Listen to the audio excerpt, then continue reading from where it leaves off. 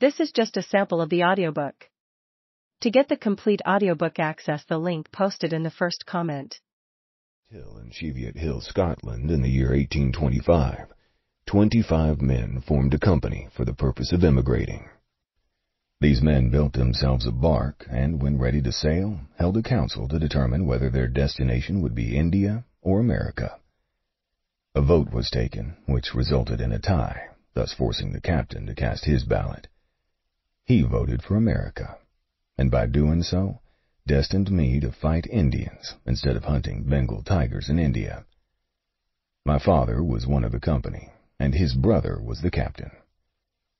I was just two years and ten months of age when we landed at New Orleans. My father had means, and we traveled all over the States, finally settling in St. Louis eighteen months later.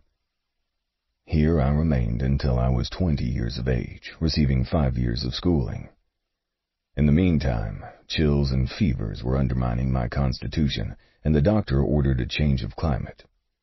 My father made arrangements with a party of hunters and trappers who were in St. Louis at the time to allow me to accompany them on their next trip, which would last a year. The party consisted of eight men, all free trappers, with Bill Williams and Perkins as leaders. These two men had had fifteen years' experience on the plains amongst Indians, and had a wide reputation for fearless courage and daring exploits. A good trading outfit was purchased, one-third of which my father paid for, giving me a corresponding interest in the trip. We started in the spring of 1842 with wagons and pack animals, making for Independence, Missouri, which was the headquarters for all mountaineers in those days. At Independence, we sold our wagons and rigged up a complete pack outfit, as our route would take us where it would be difficult for wagons to travel. I was still wearing my city clothes, and mountain men present asked Williams what he was going to do with that city lad in the mountains.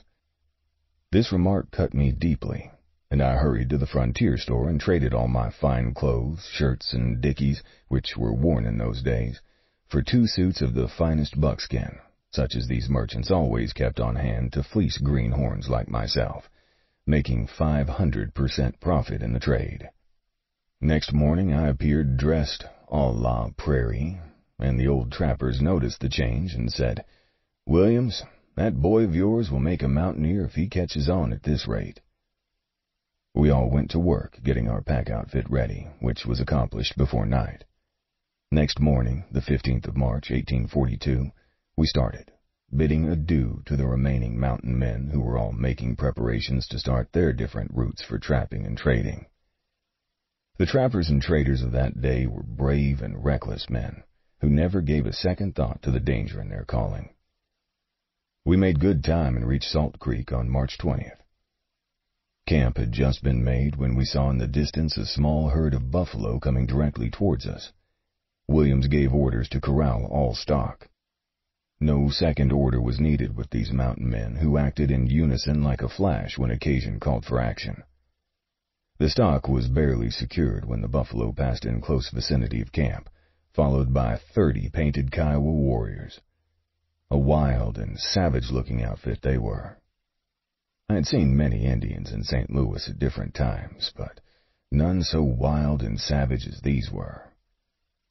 It was at this time that I received my first lesson in how to deal with wild Indians, or more properly speaking, how to control their overt acts. Our packs were placed in a triangle, answering, in case of need, to a good breastwork. Each man was armed with a rifle, two pistols, a tomahawk, and a large knife, commonly called toothpicker. Besides this, two of our men had bows and arrows, and were experts with them. The Indians came up and examined our outfit and demanded pay for passing through their country. Williams gave them to understand that they would not go through the outfit, nor would they receive pay for passing through the country, informing them that this was Pawnee country the Kiowas at that time were semi-hostile, robbing and killing when it could be done with impunity. I stood by Williams during the parley, much interested in the conversation, which was entirely by signs. The rest of the men were in what we called our fort, with stern and savage looks on their faces. Williams was well up in Indian ways and treatment in any and every emergency, and finally gave the leader, or chief as he called himself, some tobacco. They departed, looking daggers at us.